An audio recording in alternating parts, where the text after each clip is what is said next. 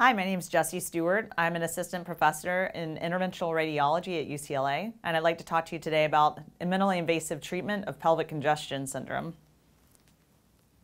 So just a little bit about me. I received my medical degree at Stanford, and then I did my internship at Harbor UCLA after that. I went to Duke University Hospital and did my diagnostic radiology residency training and then additional specialized training in interventional radiology. After that, I joined the faculty as an assistant professor at the University of North Carolina in interventional radiology, where I specialized on minimally invasive procedures, in particular for women. And after that, I joined the faculty at UCLA. So, what is chronic pelvic pain? This is defined as pelvic pain in a woman lasting longer than six months, this non cyclical. So, it can be worse during your periods, but not only present during periods.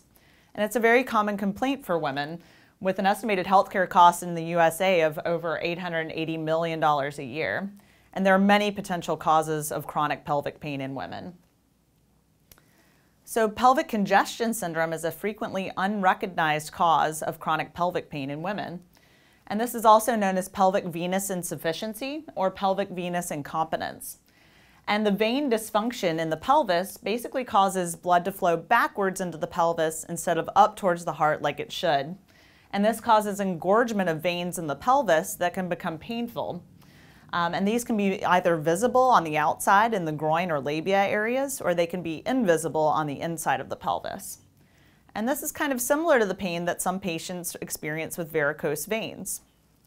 So basically, in a nutshell, enlarged abnormal veins do tend to hurt. So, what causes pelvic congestion syndrome? So, there's a few factors that can predispose women to developing pelvic congestion syndrome, and that includes pregnancy, having a job that causes you to stand for long periods of time, or even compression of outflow veins by other structures. So, what are the common symptoms of pelvic congestion syndrome? Typically, you get an aching pelvic pain that's worst after standing or sitting for very long periods of time, so typically worst at the end of the day. Uh, you can have pain either during or after intercourse with pelvic congestion syndrome. You can have painful or engorged varicose veins in the groin or labial areas. And you can also have tenderness of the ovary on a pelvic exam. Sometimes you might see leg varicose veins as well with pelvic congestion syndrome, and patients can even present with hip pain or lower back pain with this syndrome. So just to go over a little bit of the anatomy, so there's some usual culprits, um, culprit veins in pelvic congestion syndrome. So most often that's the left ovarian vein, and you can see that here on the screen, this one that's marked in red. And it actually empties normally into the left vein of the kidney, the vein of the left kidney. But sometimes when it becomes incompetent, it flows backwards and fills abnormal veins in the pelvis that become enlarged. Occasionally, it happens um, where the problems with the right ovarian vein, which also it basically dives into the IVC. And occasionally, the internal iliac veins can be contributors as well. So basically, in pelvic congestion syndrome, flow into these veins is backwards into the pelvis instead of up towards the heart as it should be, and this causes the engorged veins to develop. So this is an example of a patient that had pelvic congestion syndrome, and this is a 45-year-old woman who had had kids before and she prevented, presented with pelvic pain and some varicosities, varicose veins in the groin. You can see here.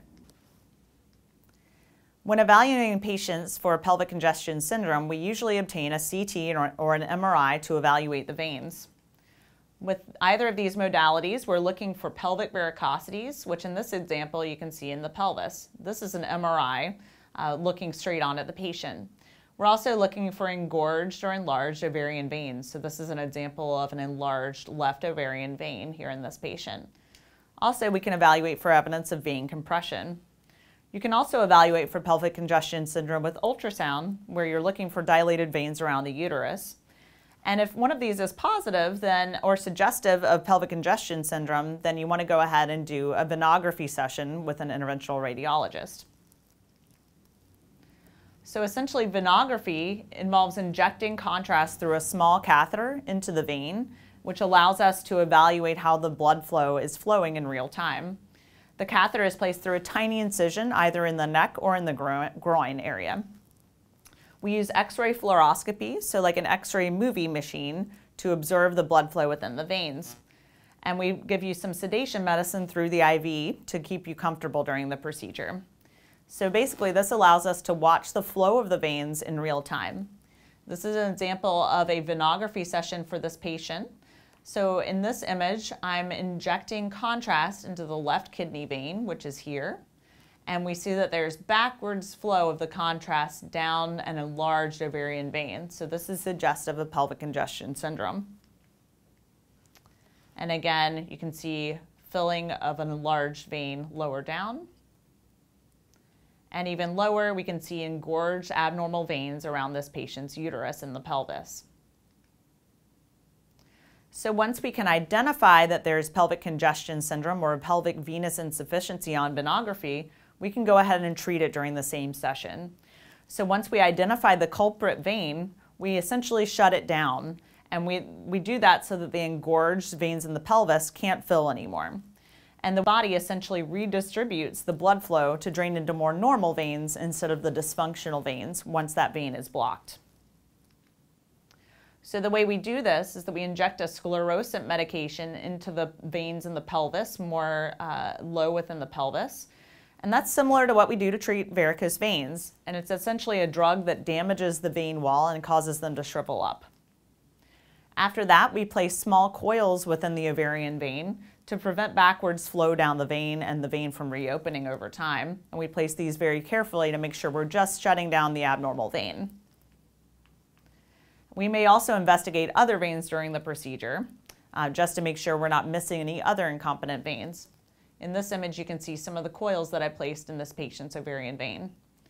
So patients can go home the same day with a Band-Aid with essentially no downtime after the procedure. So I wanted to go over the outcomes of this minimally invasive treatment for pelvic congestion syndrome. About 75% of patients had a substantial pain relief after this procedure according to multiple studies, which was durable out to at least 36 months where the patients were followed. There are extremely low rates of needing repeat procedures, and there's a low, very low percentage of complications with this procedure, so it's very safe. So in summary, chronic pelvic pain is a very common problem for women. Many women may be suffering from pelvic venous insufficiency, and there are minimally invasive treatments available uh, offered by interventional radiologists that offer very effective treatments with no downtime. Thank you very much. Please reach out to one of our interventional radiology schedulers if you would like to see an expert physician about your symptoms.